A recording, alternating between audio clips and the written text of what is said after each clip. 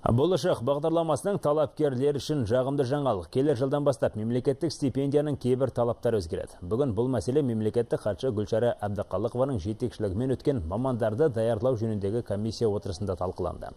Белгілі болғаны енді ауыл мұғалімдерінің ағылшын тілі бойынша IELTS көрсеткіші 5 балға төмендетіліп, 5 жылдық еңбекпен өтеу мерзімі қысқартылатын болды.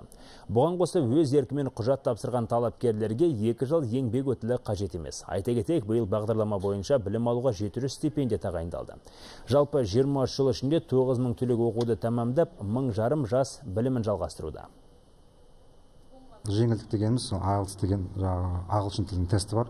Сол 5 деген болады. Ол көтерілмейді оларға. Ол дегеніміз орташа деңгейге ағылшын тілі болса осы жеңілдік жасалып отырмыз. Одан кейін келешекте ауылда жұмыс істей ме әлде қалада жұмыс істей жалпы мамандық бойынша жұмыс істеуге талап қойылады мүмкін ауыл мұғалімдеріне бұл талап мүмкін тіпті осы бес жылдықтан аз, аз, болатын болар.